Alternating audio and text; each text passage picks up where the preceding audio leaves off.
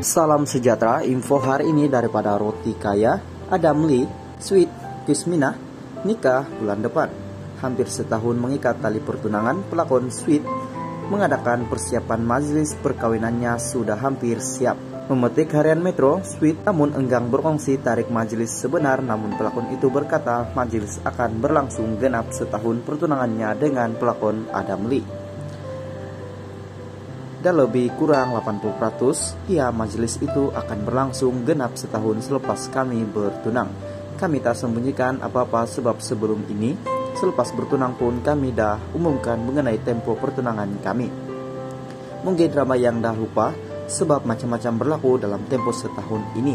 Syukur setakat ini persiapan untuk majelis kami hampir selesai dan hanya tinggal beberapa perkara yang perlu disiapkan katanya. Ditanya mengenai persiapan untuk bergelar istri, Switch berkata dia berpegang dengan kata-kata Adam mengenai perkawinan dan jodoh.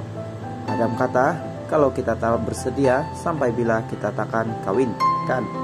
Saya percaya semua ini adalah percaturan jodoh.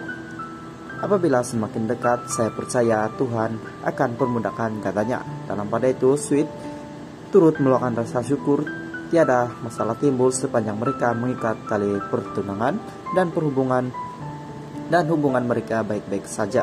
Syukur tak ada masalah sangat, mungkin sebab kami pun masing-masing bekerja dalam industri yang sama dan yang uruskan kerjaya kami pun adalah ibu saya. Jadi, semuanya boleh diatur dengan tersusun katanya. Terdahulu Sweet dan Adam mengikat tali pertunangan pada 24 Oktober 2021 selepas tiga tahun bercinta.